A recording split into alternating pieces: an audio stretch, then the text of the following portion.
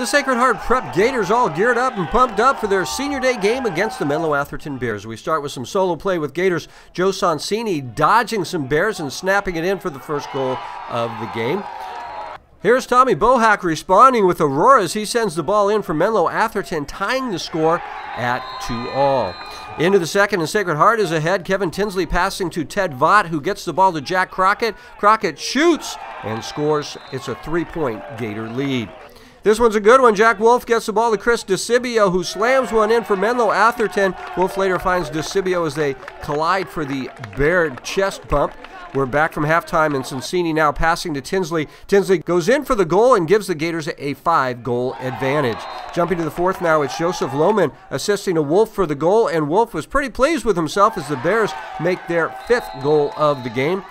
But the Gators will take this game as Tinsley running upfield again, avoiding the Bears defense, firing from 10 yards out, and he scores as the Sacred Heart Prep Gators win this one 9 to 5 to remain in first place with a one game lead in league.